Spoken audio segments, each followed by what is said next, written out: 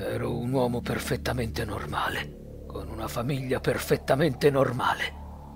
Poi la notte del mio 65 compleanno, dopo la festa, un ladro armato di pistola ha ucciso me e la mia famiglia per un pugno di banconote e un televisore. Continuavo a svegliarmi dentro la mia bara sottoterra e a morire di asfissia. Finché Scott mi ha dissotterrato e spiegato che come lui io sono un immortale. Non posso morire, non soffro la fame e mi basta un'ora di sonno al giorno.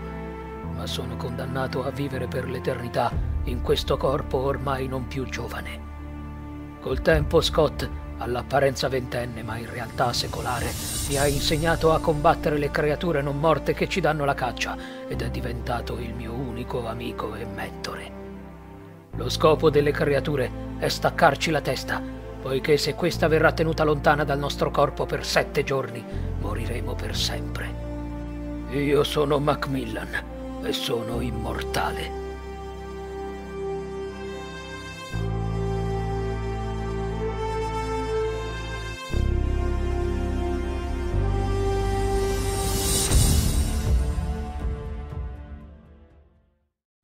Mac? Mac! Sei pronto? Sì, sì, sono pronto. Hai detto che era una vacanza, perché tanta fretta di partire? E soprattutto perché così dannatamente presto? C'era tutta la mattinata. Il fatto che siamo immortali, caro il mio allievo, non significa che dobbiamo essere pigri. Alzarsi presto la mattina fa bene. Te lo dice uno che lo ha fatto per gli ultimi 500 anni. E guardami, dimostro sempre la stessa età. Ah, tu e il tuo umorismo da immortale. Ma insomma, dove siamo diretti? E perché non abbiamo prenotato un paio di camere in un albergo come le persone normali? Quel dannato camper sembra incredibilmente scomodo. Il camper ci serve per fare camping. Altrimenti che campeggiatori saremmo? Hai preso le canne da pesca? Ho preso tutto quel che hai chiesto, anche i fucili. E la spada che mi hai regalato. Bene, allora non ci resta che partire. Certo che è più comodo di quanto pensassi. Visto? E cosa sono tutti questi pulsanti? No, fermo, non toccarli! Eh? Bella vacanza, io mi aspettavo marshmallows e pesce arrosto nel bosco e lui ha nascosto nel camper un arsenale degno del Pentagono. Ma cos'è questa roba? Strumenti di rilevazione radar. Tu mi vuoi portare a caccia di non morti? Eh, bastava dirlo. Lo sai che ormai ho accettato di essere un immortale. E anzi, negli ultimi mesi ho anche imparato a combattere non male. Facci piano con la modestia, nonnetto. Comunque no, non stiamo andando a caccia di zombie, ma di immortali, come me e te. Credevo che gli immortali non si dessero la caccia tra di loro. Adesso chi è che guarda troppi film, eh? Non è come credi tu. Questa è una missione che ci è stata affidata dalle persone per cui lavoro. Dobbiamo recuperare un immortale. Recuperare. Eccoci. Siamo arrivati al luogo iniziale delle nostre ricerche. Ma questo è un aeroporto. Non me lo dire. Prendiamo un aereo. Ah, non ho mai volato in vita mia. Io ho paura delle grandi altezze. Sei un immortale.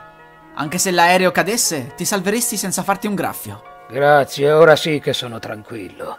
Ma perché voi giovani siete sempre così spericolati? Giovane io! Ah, lascia perdere.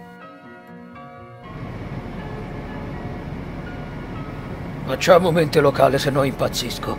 Abbiamo guidato fino ad un aeroporto privato in mezzo al nulla. Sì, l'ho comprato negli anni Ottanta. Poi abbiamo caricato il camper nella stiva di una C-130 che mi sfugge come possa essere tuo. Tutto quello che c'è in quell'aeroporto è mio. Sì, ho capito. E adesso stiamo volando verso l'equatore. Ma dove diavolo siamo diretti? Se te lo dico, prometti di non fare battute? Eh, e va bene. Egitto. Grandioso, adesso siamo pure ladri di tombe. Sarà un lungo viaggio. Quindi questo sarebbe il Cairo.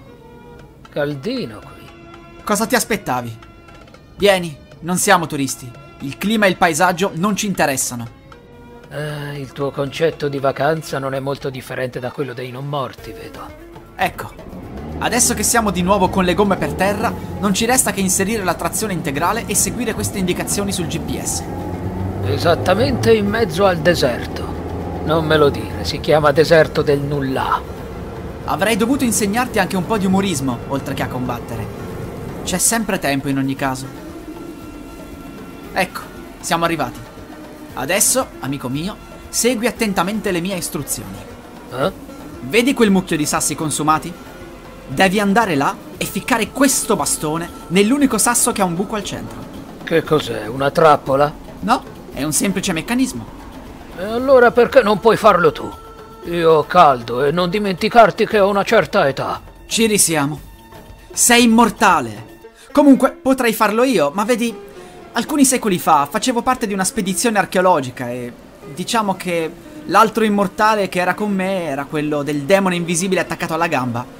E beh, si dice che questa tomba abbia una maledizione che attecchisce solo sugli immortali almeno centenari. Tu sei appena morto, per cui non dovresti avere problemi. Non dovrei?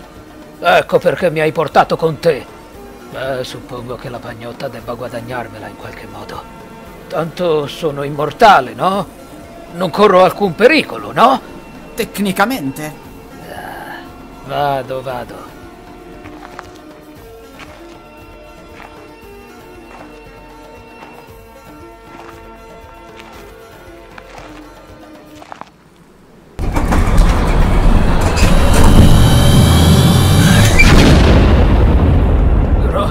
Verhoeven!